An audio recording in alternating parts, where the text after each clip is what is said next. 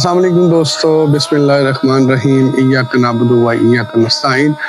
आज मैं जिस जगह पे मौजूद हूँ, ये दरबार है हज़रत बाबा फरीद शक्करगंज का। और आप सोच रहे होंगे कि शायद मैं इस टाइम पाक पतन में मौजूद हूँ, लेकिन नहीं, मैं इस टाइम मौजूद हूँ लाहौर में ही। लाहौर की दाता साहब दरबार जो है, उसकी बैक साइड पे एक दरबार मौजूद है, जो मैं आपको आगे चल के दिखाता भी हूँ। और ये हज़रत बाबा फरीद फरीदगंज शकर की चिल्ला गाय जो यहाँ पे जब वो रहा करते थे तो यहाँ पे वो अपना चिल्ला काटा करते थे। और मैं थोड़ा सा आपको मैं थोड़ा सा आपको बताता चलूँ कि आप तेरहवीं सदी के एक बहुत ही मायावार और बहुत ही खूबसूरत शायर थे, सूफी शायर थे, जिनका, जिनकी शायरी का ज़िक्र गुरु नानक साहब की किताब गुरु ग्रंथ में भी शामिल है। ये तेरहवीं सदी के बुज़ुर्ग थे। बाबा साहब इधर पौने 800 साल पहले तशरीफ़ मा हुए।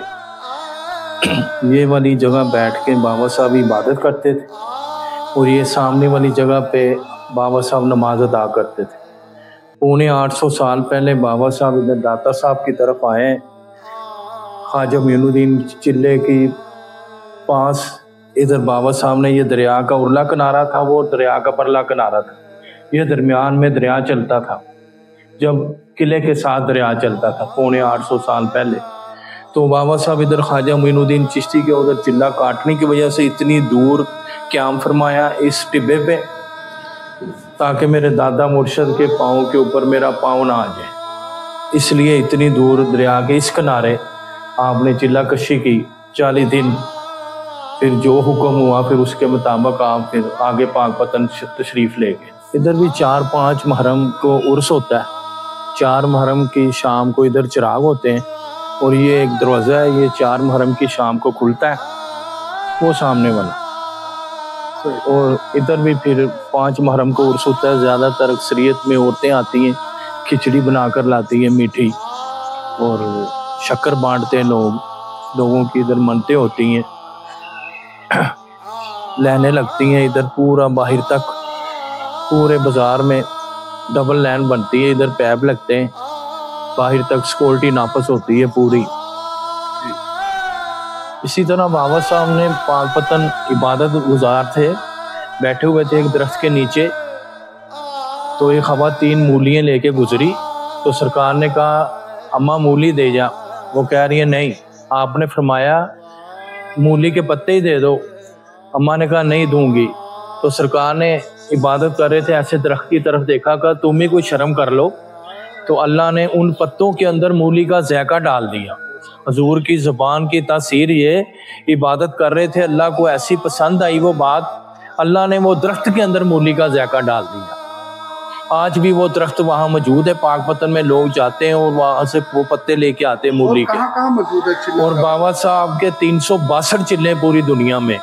बहुत सारे मुल्कों में चाइना में इराक में ईरान में सऊदिया में मक्के में फ़लस्तीन में बहुत सारे मुल्कों में बाबा साहब के बेशुमार चिल्ले हैं। इंडिया में बहुत ज़्यादा है पाकिस्तान में भी बहुत ज़्यादा है। अभी हम लोगों को पता नहीं एक पिंडी में शक्कर परिया जगह है उधर भी बाबा साहब का चिल्ला है। अच्छा कहते हैं कि सरकार की जो शायरी है वो गुरु ग्रंथ में भी शामिल की हाँ जी वो वो उनकी वो समझ लें कि वो इबादत समझते हैं उसको।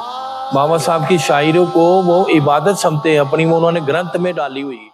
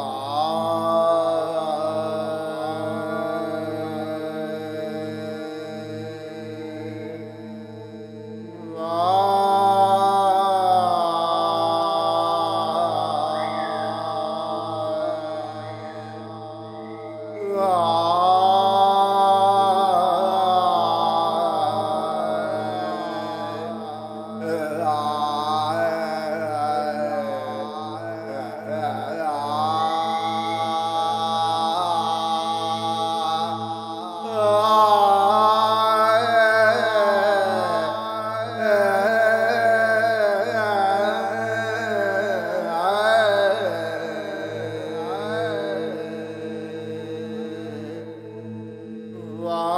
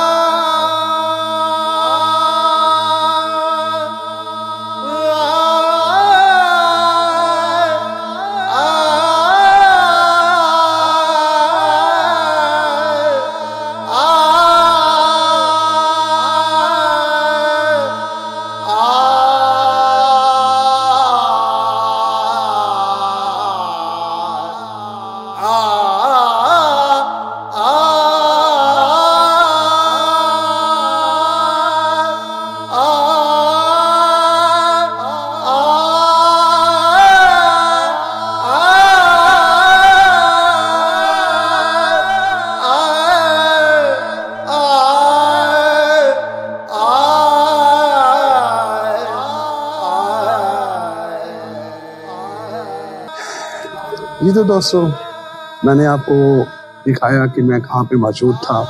ये सरकार की चिल्ला का है, बाबा फरीद शकरगंज की। तो आपको मैंने सारा विज़िट करवाया, दिखाया भी है। बाकी आपको मेरी हमेशा की तरह एक रिक्वेस्ट वीडियो कैसी लगती है, पसंद आती है तो शेयर कीजिएगा लाइक कीजिएगा, और ये बेल आइकॉन पे लाजमी क्लिक कीजिएगा। और आप दोस्तों से छोटी सी बात शेयर करना चाहता हूँ कि मेरा चैनल मोनेटाइज हो चुका हुआ है। और आप सबकी दुआओं की वजह से, आप सबकी सपोर्ट की वजह से, इसी तरह हमेशा आप जब से सपोर्ट चाहिए, मेरी वीडियो को लाइक भी कर दिया करें और शेयर भी कर दिया करें। क्योंकि इसके पीछे बहुत सारी मेहनत होती है। मेहनत के बाद जाके एक व्लॉग तैयार होता है और आप दोस्तों तक पहुँचता है। तो अपना ख्याल रखिएगा। इन मिलते हैं नेक्स्ट व्लॉग में। अल्लाह हाफिज़। बशर बट को इजाज़त दीजिए।